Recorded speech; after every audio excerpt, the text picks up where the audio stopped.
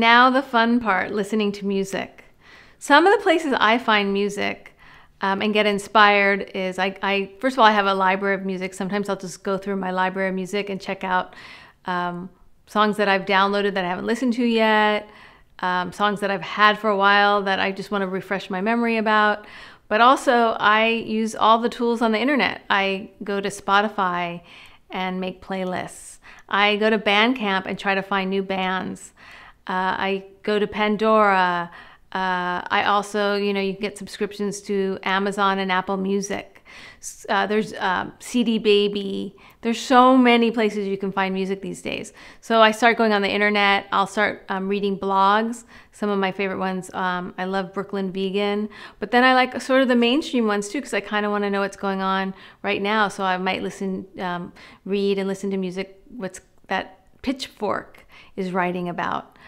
Uh, I also sometimes reach out. I'll reach out to publishers, record labels, managers, songwriters, music producers, you know, even music mixers. Sometimes I'll just talk to my friends and find out, you know, what they're listening to.